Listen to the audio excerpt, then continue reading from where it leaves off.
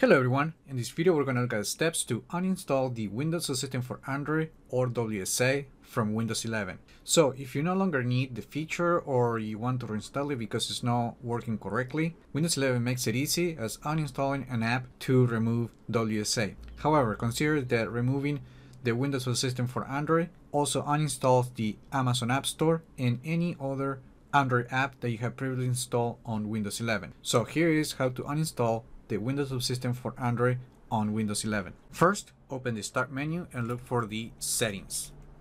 Then open the app. Then go to Apps and then Apps and Features. In here, look for the Amazon App Store. Click the menu button and select the uninstall option. Then click the uninstall button again. And in here, you're gonna get a prompt that uninstalling the Amazon App Store. It will also delete any Android apps that you may have installed and the Windows subsystem for Android. Once you're ready, click the uninstall button. You could have also looked for the Windows subsystem for Android and using the same steps, but in that case you will not get a prompt and everything will be uninstalled. The Amazon store and the Android apps that you have previously installed. And that's it. That's how you uninstall the Windows subsystem for Android platform from Windows 11. Now, if you want to get it back, it is as simple as opening the Microsoft Store and looking for the Amazon App Store.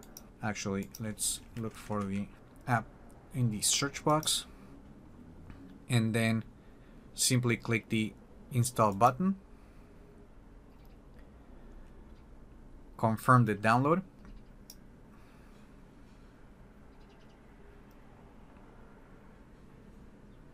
And that's it. Now you can click the open the Amazon App Store.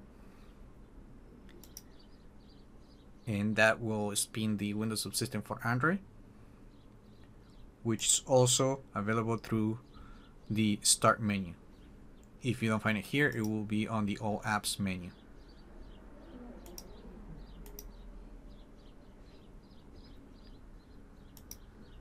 And you can open the settings by clicking the application.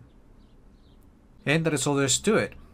Remember to like the video, leave your comments, subscribe to the channel if you haven't done that yet, and I just hope this video was informative for you, and I would like to thank you for viewing.